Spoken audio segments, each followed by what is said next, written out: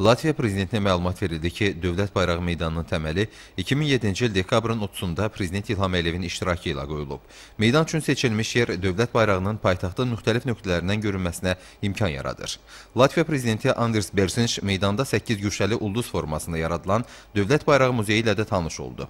Bildirildi ki, muzeydə müxtəlif dövrlərdə Azərbaycan ərazisində mövcud dövlətlərin, xanlıqların bərpa olunan bayraqları, həmçinin 17-18-ci əsrlərə aid gerblər nümayiş olunur.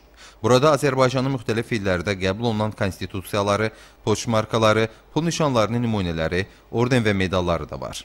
Dövlət bayrağı muzeyində həmçinin Guinness Dünya Rekordları Təşkilatının Azərbaycanın dövlət bayrağı dirəyinin dünyada ən hündür bayraq dirəyi olduğunu təsdiq edən sertifikatı da nümayiş olunur. Latviya prezidenti Anders Berzinş muzeyin fəxri qonaqlar kitabına ürək sözlərini yazdı. Qonağa xatirə hədiyyələri təqdim olundu. Latviya prezidenti Anders Berzinşə dövlət bayrağı meydanının ətrafında aparılan abadlıq quruculuq işləri barədə məlumat verildi.